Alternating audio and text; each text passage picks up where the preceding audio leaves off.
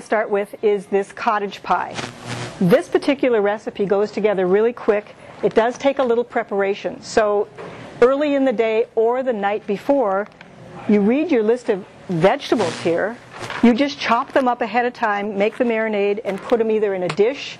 I use a baggie because I can flatten it out, pour the marinade in, and I can just set this in the fridge. It's really easy.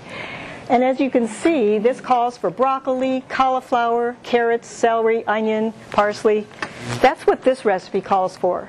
You don't necessarily need these particular vegetables. Put in what you want. It's just you need to end up with the same approximate volume of vegetables. So you can substitute whatever sounds good to you or whatever happens to be in your fridge. So you've marinated your vegetables and you have them in your container. And one of the things uh, you like to make the marinade thicker. And we're going to do that using these tomatoes that I have soaking, sun-dried tomatoes. But you need to get the marinade out of this bag in order to mix it together. And this is why I use a baggie because it works so well. I just take the baggie and I snip a little corner and then I have something to just set it in like this and I set it aside. There it is, all snipped, set aside, and it's going to drain its marinade into this cup while I'm do while that's draining, we're going to make the topping, the mashed potato topping. So we're going to go directly to the mashed potatoes because the vegetables have all been chopped and they're in their marinade. Two cups of cauliflower. But before that, we have two-thirds cup. These are cashews. You can use this or macadamia nuts or a combination.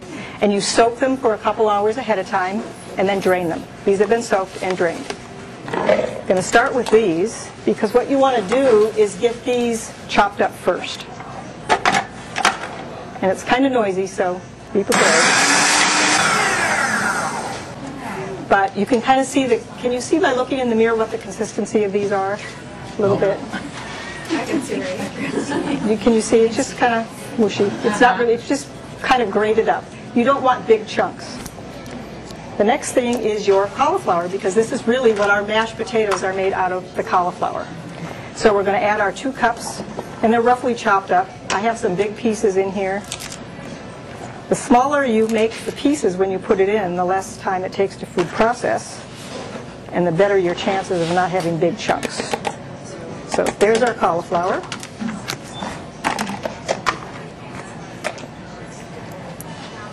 We have one quarter cup of lemon juice. Now this is really to taste. It makes, it, makes the potatoes a little tart.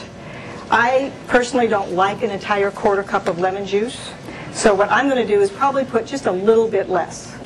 I have a little bit less. I don't have quite a quarter cup. Okay. Two tablespoons of olive oil.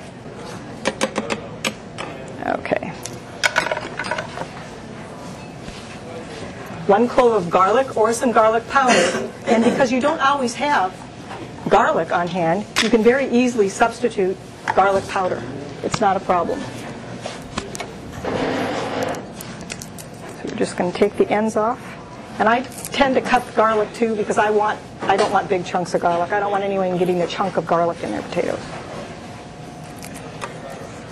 Okay? Now this recipe calls for rosemary, or Italian seasoning. We're going to do Italian seasoning. But if you have another seasoning that you happen to like, experiment. You can mix seasonings and then you can make the taste your own. It doesn't have you don't have to follow this to the letter. You can experiment with seasonings. And we're going to do a teaspoon. Salt and pepper to taste. I put a little salt in to start, and this is actually Celtic salt in here. I'm just using this container over and over again, but it's actually Celtic salt, and it's coarse grain. So I'm just going to sprinkle some in. Because we can always add more later. And then a couple, this is my bunny pepper. A couple dollops of pepper. And that's it. That's all the ingredients you need for your mashed potatoes. It's going to take a little bit of time for this to process. The result is you don't want it grainy. You want this to be very soft and fluffy. So you have to do this just a few times. Okay, we've got our potatoes, but we need to have our vegetables ready to go in our container. Here's what we do. You can use a blender for this, uh, or food processor for this. I just happen to have this handy little machine called a Magic Bullet, and it works wonderful for small jobs like this. See how easy it is? It's much easier than putting this in a colander and then trying to get the colander, and it just all drains down. Oh, And- one's so wonderful. and then when you want to, you just grab that little thing, put it in here, because we're going to mix this all together. Okay, here's the marinade that was drained. What I have here are sun-dried tomatoes. And I just soaked these so that they're soft. And I'm going to squeeze some of the water out, because we don't need all this moisture. You always save that water, just in case you don't have enough marinade, you can add a little bit of that water. But what we've done is we put what's, what that was marinating in and these tomatoes. And we're just going to mix this together to make kind of a sauce for our vegetables. And that's what you end up with, this nice thick sauce for your vegetables. We then pour it in our vegetables. and mix it all together.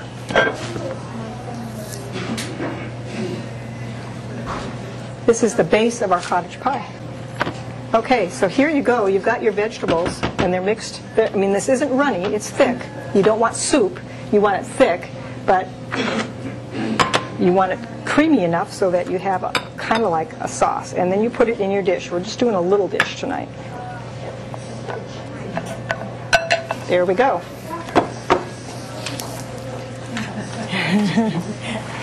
and just pat this down and make a base.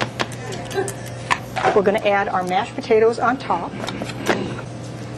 All you do with these mashed potatoes is you spread them over the top. We have the main course of this meal, but it looks kind of plain. So what we're going to do is add a little bit of color. This is paprika. I'm just going to sprinkle a little paprika. Now, if I had fresh parsley, fresh parsley would look, we'd put a couple sprigs of fresh parsley. I don't have any right now. So I'm just going to sprinkle some parsley flakes on here. And it is ready to serve. That's how fast this is. It is a very quick and easy dish.